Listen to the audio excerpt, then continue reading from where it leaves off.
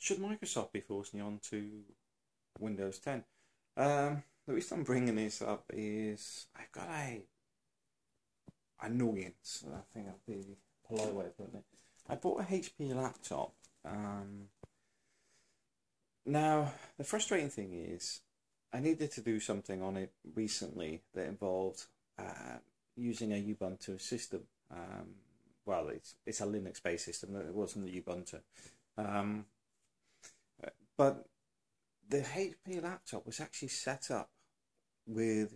A utilized all my um, partitions because Windows will only recognize four, and it created four. Did it need four? I don't think so. I think I needed two, but they did it on purpose, uh, in my opinion. But then it gets worse because I, Windows 10 is extremely bloated. There is so much rubbish on there. Um, plus, there's a lot of intrusive stuff that Microsoft have added. I think they've gone down the route of Android where you start to get these updates that sort of remove your rights because you you read it the first time round, but after six updates, you sort of go, can't bother to read this and just click through. Um, because obviously they're trying to gain access to your information. Those are okay. Um, I don't want it. You know, I've got a Android phone where I use that because I don't keep anything secure on it. I do not want people getting access to information on my laptop. Um, that's why I have the laptop separate from my phone. My phone gets all that junk. My phone has the tracking and other bits and pieces on it, but I don't want it on my laptop as well.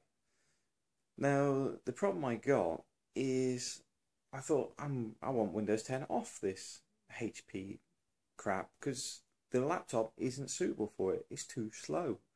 Um, how could I do it?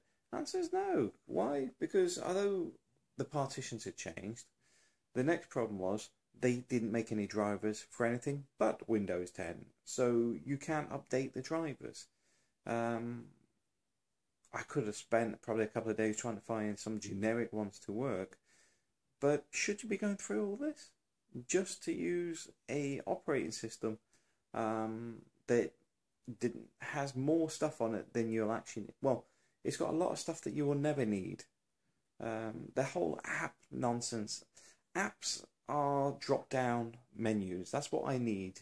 I don't need all these pretty pictures um, that's designed for smartphones etc it's a computer it's a laptop it is not a smartphone um, and i don't like the way they've tried to force people on it which my next attempt will be to actually create Ubuntu on it and just ditch Microsoft completely. And I'll be honest with you, I will not be buying another HP laptop. Um, it's too sluggish for the Windows 10 for a start. Um, but on top of that, it's very dirty to not even let you get anything else on there. That's very bad because uh, I've got Windows 7 licensing anyway, and I was quite happy to just put Windows 7 on because it's much, much faster. Also, it's already gone through all the headaches of the patching that goes with having a Windows operating system. Um, it was already stable, etc. Or even XP. XP, although it's not supported by Microsoft anymore, I don't really care. Um, this is the joke with security flaws. You see, the security flaws that I'm interested in interested in are more to do with theft of my information. Yet we find we're being given an operating system that is stealing information. so, what's the point? You know, the um, poacher becomes gamekeeper, or gamekeeper gamekeeper becomes poacher. Whichever way you look at it, they're both after your information. And it's not paranoia, it's more to do with the fact that you bought the laptop, you bought the um, operating system, even if it's a knockdown price. And this all Windows 10 free, there is no such thing as free in life. Um, there is always somebody that needs paying somewhere, and your information will be the thing they're after. Uh, but I do not like the way this has been set up to exploit the fact that you've got a laptop at home now and it will use nothing else but Windows 10. Was that written anywhere? I didn't see it. All you get is comes with Windows 10, not we don't support anything else and we don't actually write any drivers for other versions. Um, they forced you into it. Um, I think that's very dirty, dirty tactics. Frustrating as well because I don't like Windows 10. really don't. There's so much junk on there, even the menu system. If it had a Windows 7 layout and then they put the crap behind it like they did with Windows 8 and just stabilized it, I'd be happy with that. But I really did not. I don't need all this all move your finger around stuff. It doesn't. That's not what my laptop's for. And I can understand that the market is moving that way.